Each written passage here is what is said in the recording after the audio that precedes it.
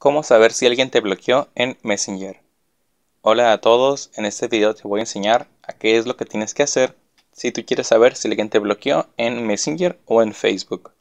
Para ello, lo primero que vamos a hacer será entrar en la aplicación de Messenger y después en la barra de arriba que dice buscar, vamos a buscar el nombre de la persona que nosotros creemos que nos bloqueó.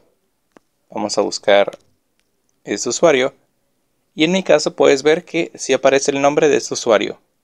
Pero si por algún motivo yo estuviera buscando a esa persona y al momento de yo buscar su nombre, vamos a escribirlo exactamente como aparece. Si al momento de yo buscar su nombre no me aparece su usuario, significa que esa persona me bloqueó, dejó de seguirme o ya no somos amigos.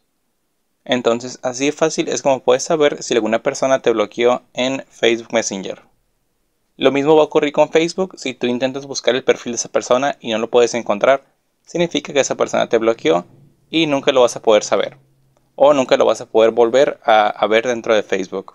Lo más que puedes hacer para saber o estar seguro si te bloqueó es pedirle a un amigo que revise con su cuenta, la cual no está bloqueada, si el perfil de esa persona aparece.